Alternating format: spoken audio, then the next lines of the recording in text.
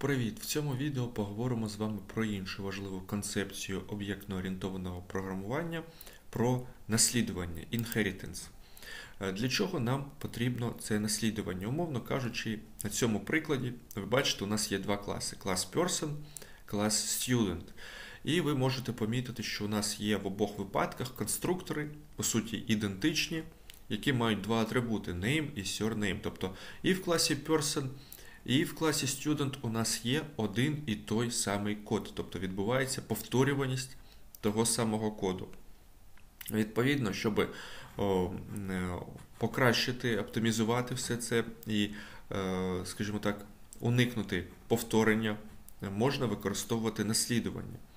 Е, В даному випадку ми наслідування не використовували. По суті, у нас, як ви бачите, для цього спрощеного прикладу е, якраз е, нічого не використано з наслідування. Так?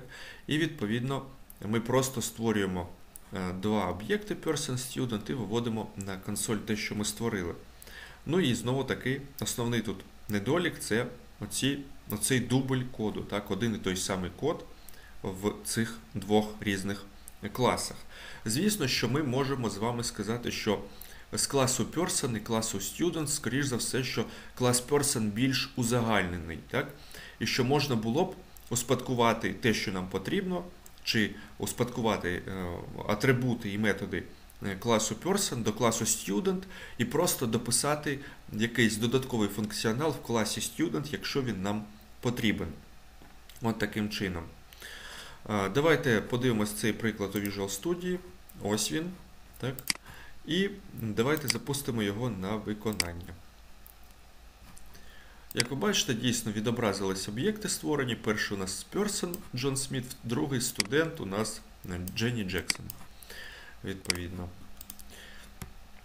Сама концепція наслідування вона передбачає визначення класу, який наслідує всі методи і властивості іншого класу. Відповідно, є терміни parent class і child class, тобто батьківський клас і клас спадкоємця чи дитячий клас, дослівно перекладаючи. Так? Тобто parent class, батьківський клас це клас, від якого наслідується, він також називається базовим класом. Child class, клас дитячий, це клас, який наслідує з іншого класу. Він називається похідним класом. Derived клас, похідний клас. Так? От. І в цьому випадку ми дивіться, що зробили. Ми успадкували в студенті клас Person. І відповідно атрибути класу Person доступні в класі Student. Ми, не, не, Нам не потрібно дублювати знову те саме. Клас Student він успадковує від Person те, що в ньому є. Ми, звісно, можемо дописати те, що нам потрібно, але поки що ми просто тут поставимо ключове слово pass, так би мовити, щоб наш клас працював. І оці атрибути, name і surname, вони будуть доступні в класі Student, хоча ми нічого в ньому і не прописали. Ми просто успадкували оце все з класу Person. І воно в класі Student, коли ми будемо створювати об'єкти, буде доступним і буде працювати. Ми знову таки зробили те саме, створили об'єкт Person 1, відповідно, клас Person John Smith і Student 1, клас Student Jenny Jackson. Ну і вивели на консоль вже. Відповідно, виведемо на консоль створені ці об'єкти, їхні атрибути, і подивимось, що вийде. Давайте подивимось на цей приклад у Visual Studio. Ось він. Запускаємо його на виконання. І як ви бачите, дійсно об'єкти створені, успадкування, наслідування воно працює. І об'єкт Дженні Джексон, ви бачите, типу Student, він був створений і він теж має атрибути, які успішно були, так би мовити, використані, але працював працював при створенні. Відповідно, Дженні Джексон, по суті, батьківський конструктор класу Person. Так? От таким чином.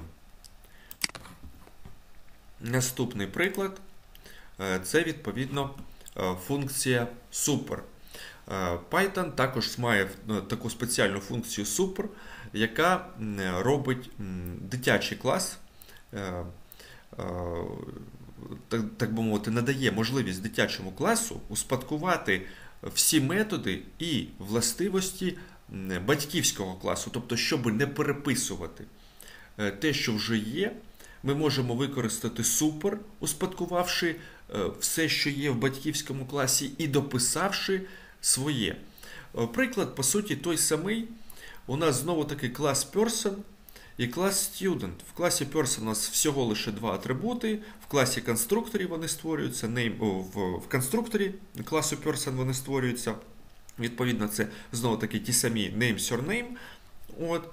А, в, наприклад, в класі Student, так, в похідному класі. Ми, наприклад, хочемо передбачити для об'єкту студент ще й середній якийсь бал, так? який може бути у студента, звісно.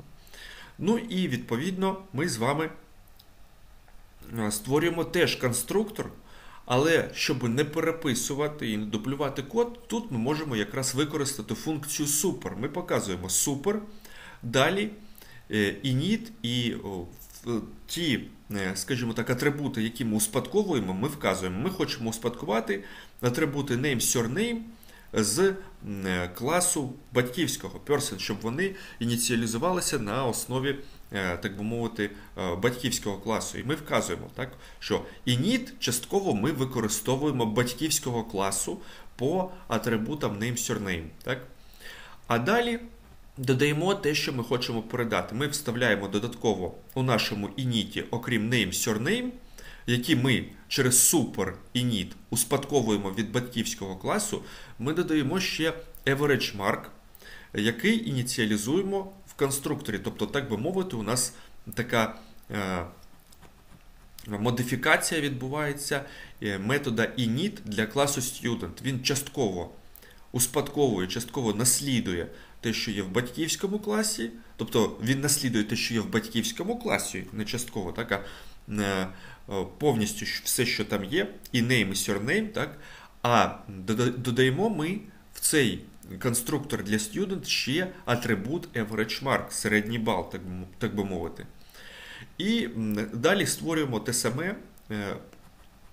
Об'єкт е, person1 класу person і об'єкт student1 класу Student, але передаємо ще й середній бал, звісно. Ну і виводимо на консоль, щоб подивитись, що у нас вийшло в цьому випадку. От. Давайте подивимось цей приклад у Visual Studio. Ось він. І запускаємо з вами його на виконання. І як ви бачите, дійсно дійсно на консоль виводяться у нас Джон Сміт, це у нас клас Person, і, е, відповідно, Дженні Джексон, студент клас е, з середнім балом 3,5. Так? От таким чином.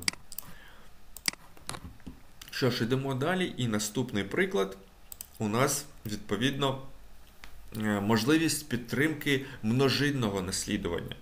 Окрім, окрім відповідно, звичайного наслідування, Python підтримує можливість наслідуватися від кількох класів. Наприклад, у нас є, умовно кажучи, е, класи Python Developer, е, в якому всього лише один метод Project Python, який просто виводить на консоль е, рядок Python Coding in Process. І, наприклад, у нас є клас Java Developer, в якому теж всього лише один метод Project Java, який наслідує, який відповідно виводить просто на консоль відповідно рядок Java Coding in Process. Е, наприклад, у нас є е, додатково ще якийсь створюється клас, е, який називається Python Java Developer, тобто, умовно кажучи, і Python, і Java, так би мовити, в одному флаконі, якщо можна так сказати. І відповідно, ми, щоб не переписувати додатково ті самі, наприклад, методи, ми можемо успадкуватися від Python девелопера і від Java девелопера. І в даному випадку цей клас Python Java Developer йому будуть доступні як методи, які є в класі Python Developer, так метод, який є в класі е, відповідно Java Developer. Звісно, тут спрощені приклади. Е, зазвичай в класі там буде багато різних атрибутів, можливо, якихось методів е, також, і вони всі будуть, звісно, що доступні. От. Але е, в даному випадку у нас приклад такий спрощений для загального розуміння. От. І відповідно ми тут створюємо з вами об'єкт Developer1, який у нас класу Python Java Developer. так? І відповідно, ви бачите, викликаємо, викличемо ми відповідно на об'єкті Developer 1 як метод Project Python з Python Developer, так і метод Project Java з Java Developer. І обидва методи відпрацюють. Тобто успадкування множинне в Python воно є, воно працює і підтримується. І класу Python Java Developer об'єктам цього класу будуть доступні методи з Python Developer і методи з Java Developer. От таким чином. Давайте це перевіримо е, у Visual Studio. Як ви бачите, ось цей приклад. Запускаємо його на виконання. І як ви бачите, дійсно відпрацювали і Project Python метод успішно відпрацював на консолі, бачимо Python Coding in Process. І Project Java теж відпрацював, бачимо Java Coding in Process. От таким чином. Що ж, наступний приклад. Е, Є також така функція е, isInstance, яка перевіряє, якого типу об'єкт. Е, відповідно, вона надає можливість перевірити приналежність певного об'єкта тому чи іншому класу. У нас тут приклад. Відповідно, клас у нас є знову таки Python Developer і є клас Java. Java Developer. Наприклад, ми створюємо об'єкт Developer 1, в якому у нас буде тип клас Python Developer. Так? Далі, наприклад, ми хочемо перевірити, якого типу у нас об'єкт Developer 1, якого, до якого об'єктом якого типу, якого класу він є. І тут якраз ми можемо використати е, функцію isInstance. Зробимо ми це е, в контексті відповідно умовних виразів конструкції if, elif, else. Отже, в if, наприклад, ми пишемо isInstance. так? І в і в цю функцію isInstance ми передаємо відповідно об'єкт, який хочемо перевірити. Це у нас developer 1, і передаємо туди відповідно клас, по відношенню до якого ми хочемо здійснити перевірку. Ми, наприклад, хочемо перевірити, чи є у нас developer 1 об'єктом типу Python Developer цього класу, так би мовити. І тому просто пишемо тут Python Developer. Якщо у нас тут повертається true, ми виводимо на консоль This is Python Developer Object. Так? Якщо, наприклад, у нас е, тут false, ми передбачаємо elif і ще один is instance. І тут перевіримо, наприклад, що у нас чи є у нас Developer 1 типу Java Developer. Якщо він буде типу Java Developer, то на консоль виведеться This is Java Developer Object. І передбачаємо else, який виведе на консоль unknown object type, так би мовити. От таким чином.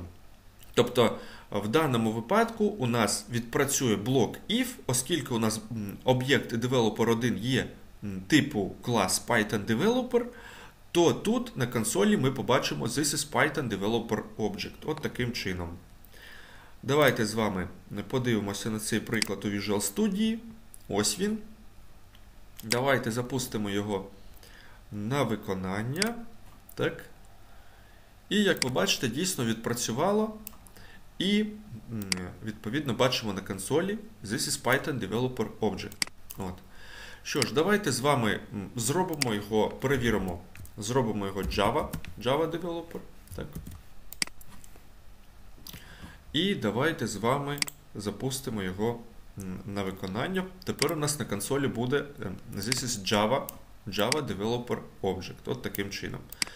От, В принципі, по наслідуванню основні моменти ми проговорили. Така цікава концепція, яка надає можливість відповідно е, спростити е, вам життя, успадкувавши потрібні вам відповідно е, атрибути і методи з іншого класу, і просто дописавши потрібний вам функціонал для цього класу. От таким чином.